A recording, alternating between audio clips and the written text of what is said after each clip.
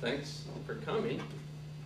Uh, I'd like to get started by everybody just telling everybody else what you do, how you do it, why you're here, what you want to get out of this, and uh, I guess we can start with uh, Diane, but maybe she already said what she wants to say. Well, I'll say it again. Again, my role is joint uh, with the Greater Reading Chamber of Commerce and the Manufacturers Resource Center out of Bethlehem, PA. Um, The Manufacturers Resource Center is a state and federally funded organization to help manufacturing companies.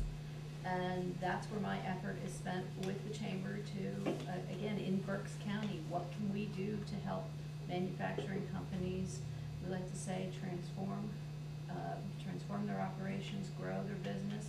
We know it's crucial to the local economy, we've put a lot of effort Kurt Hartung, Operations Manager, uh, Phillips Van Heusen. We primarily handle uh, Odd product, Van Heusen product, distribute it to the stores, um, Jason Penney, Belk, Longtime, Macy's, Boscov's. Any Odd product you see out there comes out of our warehouse. Uh, so we're distribution, we don't manufacture, and unfortunately, everything nowadays is overseas. We bring the product in, pick, pack it, ship it out to the customers. My name is Tamara Jones, I'm president of Metals Your Way. Uh, we're a metal distributor and metal service center, and we actually work alongside uh, a lot of manufacturing companies. And they finish products for them uh, that goes into the things that they are manufacturing. We also recently uh, started distributorship uh, with a new company that just moved to Tap Industries. And we also, we're helping them manufacture an item that they make there. I'm Debbie Richmond from Crossroads Beverage Group. We do bottled water. Um, We've been in the area for about a year now, and uh, manufacturing is new to me, and, uh, you know, to, in order to expand our plant. That's why I'm here today, to learn, learn how to do that. I'm Christine Nichols from the Company. We do nitrogen compressors. So um, our compressors are used in the manufacturing process. I'm new to manufacturing as well, and we're looking to uh, double the size of our manufacturing facility right now. Okay. Scott? I'm Scott with the Rose Corporation, uh, production manager. We're a custom steel plate fabricator for, for industry, industrial purposes. And, uh, you know, we've been, you know, we've been looking at doing a couple capital projects. And, you know, one of the main things that always comes up is the financing and, uh, you know, finding the right money or, or knowing what's out there to, you know, to get the ball rolling on some of these projects, so this could be interesting for me as well. Okay. Your custom mill? Yes, my name is Charlotte Koshanik. I'm the controller at Custom Milling and Consulting. Um, we're looking at expanding for the second time in a little over two years. Uh, except this building's much bigger and a lot more expensive than our last endeavor two years ago. So we're just trying to see what's out there. Okay, good, good. And uh, I'm Sam Macrina. I do uh, tax exempt, tax-free financing for manufacturers throughout Pennsylvania. And uh, I would like to hope that we can make this very interactive, especially if you have projects that you're working on now, because then we can really bring it down to reality. Okay, so what I want to first cover is uh, the things that you need to remember when you leave here today, okay? And the most important thing to remember is when you do a tax-free financing package, the interest rates will be thirty-five percent below market. It will be thirty-five percent lower than if you did a regular commercial loan. And I'll explain later why that is. So that's the most important factor, the fact that interest expense uh, to a manufacturer uh, under this program could be your lowest cost of capital. Now, there's always misconceptions about tax-free financing. You do not have to create any jobs, okay? No job creation required. You don't have to pay prevailing wages, so if you're doing a, a brand-new building, you don't have, in Pennsylvania, you don't have to pay prevailing wages. That's not the case in New Jersey. In New Jersey, if you do this, you have to pay prevailing wages, and that basically negates the savings that you get under this particular program. Uh, Thanks for joining us. Thanks for having me. You're with uh, Traeger? Yes. Okay, maybe you can introduce yourself and then Okay. grab Uh, some. I don't want to interrupt you. No, that's fine. Uh, my name is Brad Gammons. I'm with Tribute Corporation. We manufacture aluminum castings in Hamburg, Pennsylvania, and we use CNC machining for those castings. And you used to be a doctor, right? No. No. Okay. Uh, the other thing is you don't need a letter of credit, you know. If you, if you go to your bank, chances are, if you ask them for tax exempt financing, they probably won't know what you're talking about. And if they do know what you're talking about, they're probably gonna say, well, you need a letter of credit, and we don't like doing letters of credit. Because the problem with letter of credits these days is that the bank takes on all the risk and they don't make enough money for a letter of credit, so they don't like doing it anymore.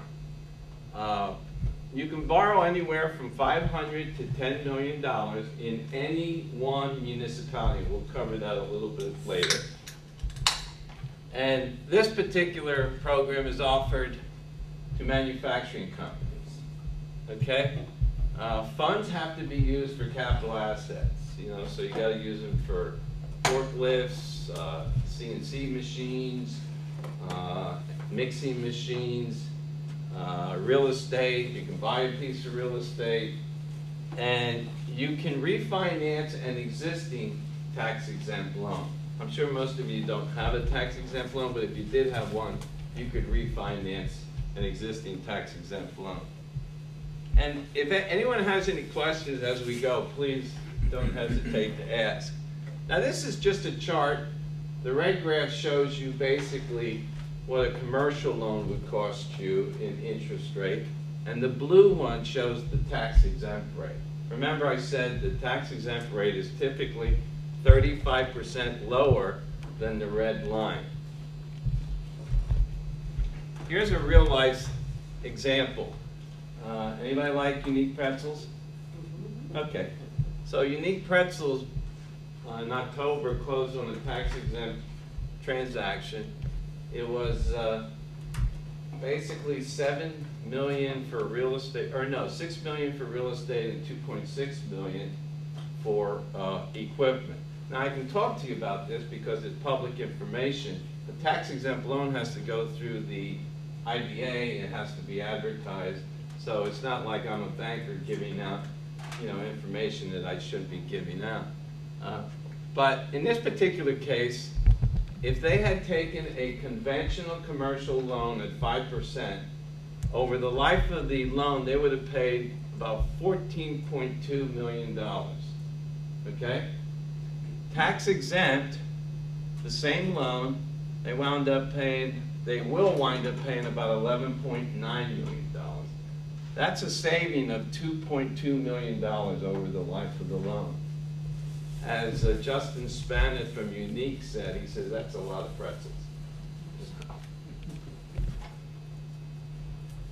This is uh, just a picture of the uh, brown grape uh, breaking ceremony. Uh, The lady over here, that's Secretary Newhouse from uh, Harrisburg, Department of Community Economic Development.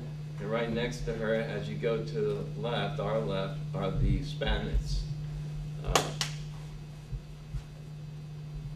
Okay, your typical expansion project, okay? Your, your typical expansion project in Pennsylvania should consist of three components. One, everybody that's doing a real estate expansion should apply for PIDA. That's the number one, and if you applied last month, you probably, you would get an interest rate of one and a half percent, mm-hmm. okay? The other program you should look to next is MELF, that's for machinery and equipment. And again, if you applied for that last month, you, you would have gotten an interest rate of one point five percent. And those two programs work well with the last program, which is tax exempt. The last piece of your financing package should be the tax exempt piece, okay? Now, what you have to be careful of is when you apply for PIDA and you apply for MELF, sometimes at the end of the process, you may not get the money you asked for. So typically, what I tell my clients is, let me approve you for the whole package, tax exempt. Whatever PIDA brings to the table, or MELF brings to the table, we'll back it down from the tax exempt piece, okay? So the tax exempt piece will fill in or complement or supplement PIDA and MELF. Any questions so far? Anybody have any experience with PIDA, MELF, any of those programs? You wanna tell us a little bit about it? Um, we applied for MELF when we first came in, for some equipment financing, and there are lots of hoops to jump through. It took a while, but we, we got what, what they committed to, and, um, it's, it's a long process. Now, how did you finance, you know, MELF only finances a piece of it. They don't do the whole thing. Uh, How the, did you- the, um, the, um, vendor for the equipment financed the bulk of it, Okay. so. Is it, was it a lease, was it a, a A purchase? A We're purchase? purchasing it, yes. Okay, okay. loan purchase. So that lend, that lender or that vendor could have used tax exempt financing if they knew how to do it. Right. Yeah, okay, okay. By the way, speaking of water, bottled water, you're, you're probably too young to remember this, but I remember watching TV and there was an advertisement, this is real. And it was three young guys sitting by a stream, they were smoking a joint. And, uh, the one guy filled the bottle up with water, this was like twenty-five years ago. And he said, do you think people would buy this? It's a big industry now, you know? Okay. Any questions about combining PIDA, MELF, tax exempt? This here is geared more towards the economic development people. Pennsylvania is the, uh, the state, the largest state east of the Mississippi that offers tax exempt financing to manufacturers. Most, most of the other states do very little in that regard. This just blows it up a little bit. And then this is just an example of a $10 million project. Uh, you know, typically a $10 million project might look like $6 million real estate as an example, $4 million for machinery and equipment. Part of it, the PIDA loan may be a million or two of the total $6 million for the real estate. Uh, Another 2 million might be for the MELF, and then the rest would be tax exempt financing.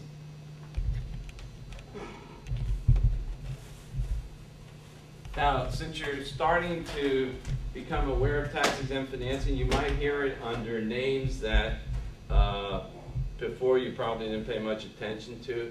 They might be called manufacturing bonds. Uh, They could be called industrial development bonds, small issue bonds, private activity bonds, or PEDFA bonds. Now, in Pennsylvania, most people that have done tax exempt financing have done it as a PEDFA bond, okay? People don't like PEDFA bonds. If you've been through it, you hate the process once you've been through it. Uh, And the reason you can't get those things done today is because of the letter of credit. The banks don't want to issue the letter of credit. The way the PEDFA bonds work is the state of Pennsylvania collects all these tax exempt loans, okay? Then they go out to the bond market, they take the pool of tax exempt loans, they go out to the bond market and they sell these loans. Now, the bond investors, they don't want to take credit risk, okay? They just want to buy the bond and make sure they get their interest payment each month. So because they don't want to take credit risk, that's why the bank has to issue a letter of credit. They want the bank to take the credit risk. But you got to catch twenty-two, the bank doesn't want to take the credit risk either, at least not for one and a half percent that they get for a letter of credit. So that complicated the process. So what we do is we don't do it as a bond issuance. We don't do it as a letter of credit. We do it as a regular commercial loan with a tax exempt component to it to reduce the interest rate. So you're dealing with our bank, you're dealing with a commercial lender, and you don't have to worry about all of these other things that you have to do with a bond issuance. Bond issuance is, is also very expensive. So here's a, here's uh, what's called a composite pool. The composite pool is basically the bond issuance. The bottom, the standalone, that's where you go through a bank, and the bank actually does it as what's called a bank note. Okay? Users of tax exempt financing, it's not just for manufacturing, but manufacturer, manufacturing is pretty much the only business, profit-making business that can use tax exempt financing. Everybody else uh, is either a hospital, healthcare, universities, charter schools, charitable organization, airports, things of that nature. Manufacturing is the only business that can use tax exempt financing. Now, tax exempt financing for manufacturers is defined under the Internal Revenue Code as the manufacturing or production of tangible property. Okay? So if you're taking water and you are doing something to it, like maybe taking some, I don't know, bacteria or dirt out of it and putting it in a bottle, that's manufacturing. If you're taking pigment and blowing, what do you call them? Those round things, the, Oh, the mulch we do, or? well, whatever you do, I mean, you take, uh, you have balls that are flying throughout the, Oh, the media. the media, yeah, yeah, that's manufacturing. Uh, And in some cases, you have to make sure that it's manufacturing as it's defined under the Internal Revenue Code. And I use this example, uh, is curing cheese manufacturing. So in this particular case, this is a real life case. The company, a company made cheese. Whatever they do to make cheese, that's what they did. And they took that cheese and they shipped it to another company that blew air over the cheese with fans. The IRS said that was manufacturing. So it's up to the IRS. Uh, is vegetable processing manufacturing? Take vegetables, wash them, put them in a bag, seal it, send them out, that's manufacturing as well. If you're doing, you know, taking metal, cutting it, welding it, that's manufacturing. Okay, now here's some bad projects. This is what the IRS would call a bad project, meaning it isn't manufacturing. Fish production is not manufacturing. If you kill them, slice them, put them in a bag, that's manufacturing. But if- you're raising them, it's not manufacturing. Reverse vending machines uh, is not manufacturing, and mining and rock crushing is not manufacturing. Now, I did do a deal out in Indiana County. It involved mining and rock cutting. That is manufacturing. Because you took a machine and you cut the rock, that's manufacturing. Okay? Now, what are the eligible uses? Okay? 95% of the proceeds, the dollars that you get from the loan, uh, can be used for acquisition of land, construction, acquisition of a building, acquisition of machinery, equipment. Uh, only 25% of the total proceeds can go towards land. 25% or less has to go towards land, okay? Uh, building, you can use it for acquisition, engineering, uh, architectural, legal, title insurance, appraisals, those kinds of things. If you buy an existing building, one that's already up, at least fifteen percent of the money has to go to improve the building. Okay?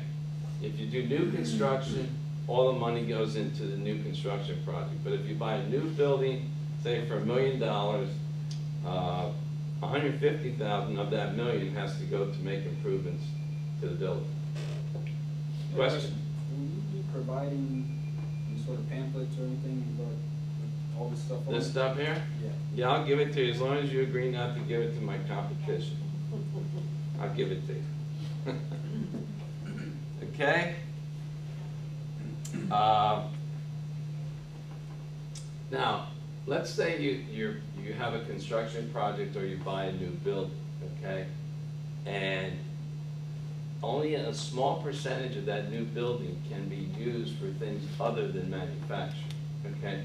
So let's say you put up a hundred thousand square foot building, uh, fifty percent of it is manufacturing, the other fifty percent is sales, accounts receivables, accounts payable, department, HR. That won't work, okay? Only twenty-five percent of the building can be used for things uh, outside of manufacturing, okay? Now, if you have office space and it's for your, your plant supervisor, your engineer, uh, say you have a fitness room for the people that work out the plant, you know, those kinds of things. As long as they're related to manufacturing, it's good, okay? Now, what happens if thirty percent of the building is gonna be used for office and seventy percent is gonna be used for manufacturing? Then you do two loans, one tax exempt, the other one taxable, okay? So there's always a way to skin a cat. Or you just give everyone new titles. You can do that as long as the IRS doesn't come in. Question, like the new facility we're thinking about putting up is gonna be, at this point, like fifty percent warehousing, uh, maybe twenty percent manufacturing, and another thirty percent packaging. Okay, as long as you're warehousing either the material that goes into making the product or the, what comes out of making the product, okay? If you're warehousing, for example, parts, uh, that's different, okay? So you have to, you have to make sure that it's the right kind of inventory that you're, you're, and packaging is fine. Yep, good question. Did you have a question, Diane? Nope. No, okay. Now, uh, you can, you can do tax exempt financing for used equipment if the equipment is part of the real estate that you purchase. And if you put fifteen percent of the proceeds into upgrading the new equipment or the used equipment. Okay? You know, I'll Can stop. You go over that again? Yeah, you, if you buy a building and it has used equipment in it, okay, you can use tax exempt financing for that used equipment. But what you have to do is you have to invest fifteen percent of the tax exempt money to update the equipment to make it qualify, just like you do the real estate. So the, the machinery would have to already be in the building? What if you already what if you purchase new equipment and you want to upgrade that? You, you can purchase new equipment and put it into the building, that all qualifies.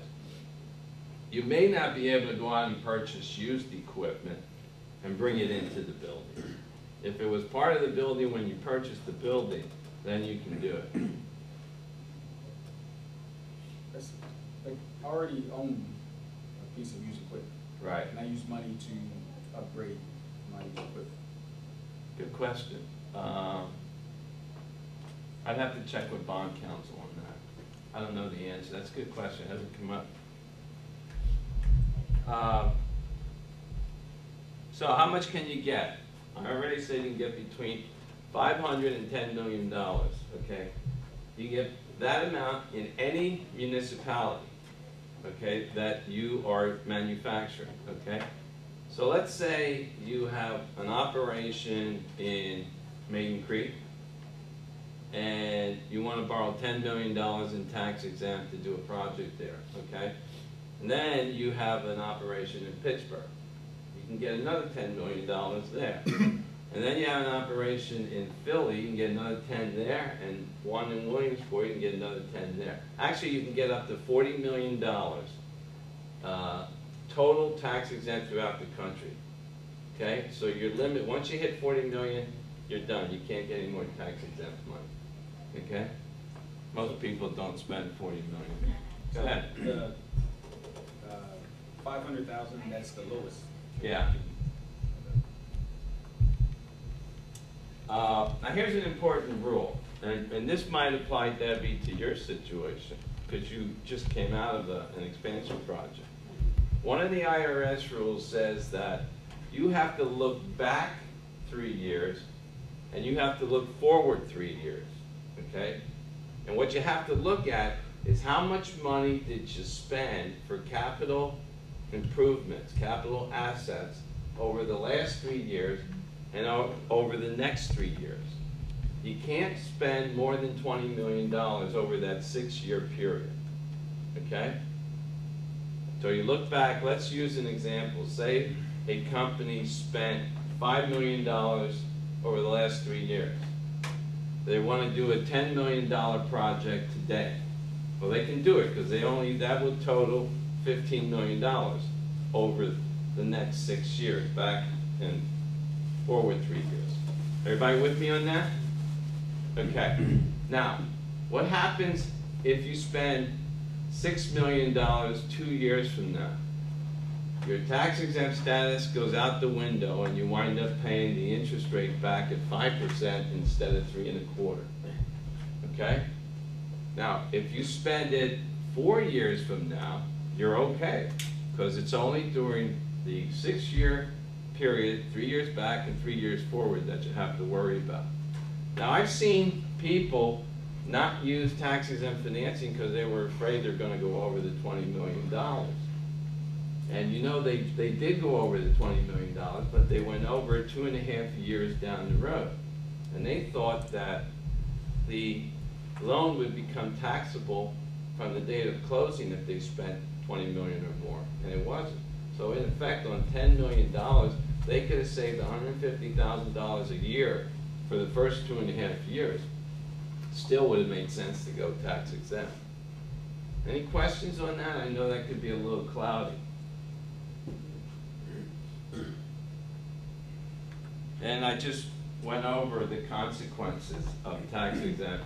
If, if you do something that violates the Internal Revenue Code. And really the things that you can do are going over the twenty million dollars, uh, putting up a facility and doing things like turning it into a fitness center or a retail store. Those things will knock you out of tax exempt financing, okay? But typically, most manufacturers don't do that, so you really don't have to worry about it, okay? You can't use, uh, tax exempt financing and an SBA loan. That's a, a federal rule. And, uh, getting close to the end of the presentation, go ahead. Back to that, you said you can't use tax exempt financing and, SBA as, as, under the same loan, no. They have to be two separate loans. Yeah, which is a, too bad, but it is. Uh, Now, here's examples of, uh, companies in Pennsylvania that financed a bunch of deals, most of which involved PIDA and, and uh, MELF, none of which use tax exempt financing, and it's really a shame. But here's a company, Aggressive Grinding. Obviously, they do grinding of materials. uh, They qualified. Gardner uh, Denver, they- I think they were involved in, in uh, fluids and pumps. You know, they qualified, but they didn't use it. And this is all stuff I get off of uh, newpa.com's website, which is DCED, Department of Community Economic Development. Uh, This is a company, QPSI, the company that thought they were going to exceed the $20 million rule, and they didn't take advantage of it, and they actually wound up losing $450,000 over the life of the loan. Uh, Coal Material, uh, I don't know if you're familiar with them, I think they might be in metals. Uh, So, just to give you an example of Olympic Steel, that was another one. My final point is this, okay? Is assume everyone, if you're in manufacturing, assume everyone qualifies for tax exempt financing, okay? Don't let anybody tell you. There are people out there that will tell you, you don't qualify, it's not a good program, you got a lot of hoops to jump through. That's not the case. That's, that's the lender's job, is to insulate you from all the hoops that you have to jump through to, to do that for you. Questions?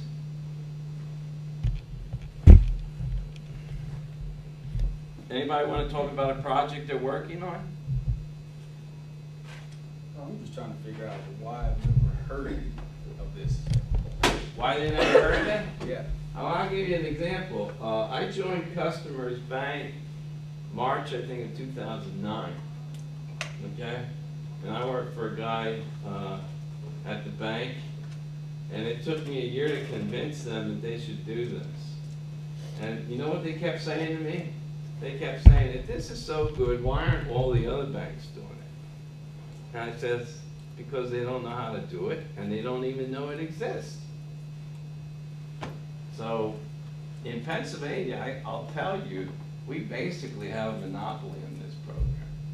There's maybe three or four lenders throughout the state, individuals, uh, that do this.